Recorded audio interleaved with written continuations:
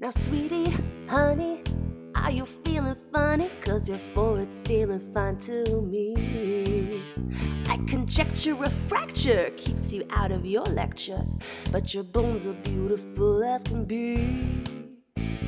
On and off the field, the pressure must be real.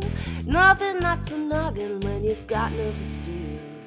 Tell me, Brittany, illuminate your injury. Internal infections, craving gnarly incision, baby. Tell me, Brittany, how about those kidneys? Organize those organs and an operations option, baby. Operation? Touch your toes for me, sweetie. You're flexible, fantastical. Moxie, why are we talking about me flexing when my head is said? Just wait, you'll see. Moxie, I don't think I've got more ice by the sink. Who's the one with the med degree?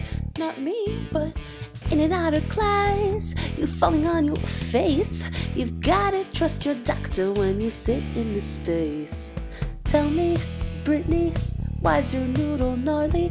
I've got the perfect pills to appease your pain. Tell me, Moxie, will medication mend me?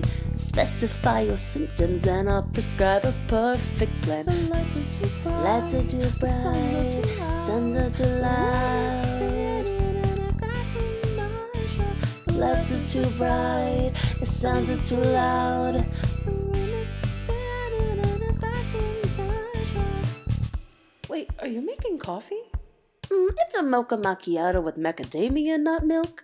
But yeah, Don't you think that's a little unprofessional? it's for you. The caffeine will help your migraine. You're welcome.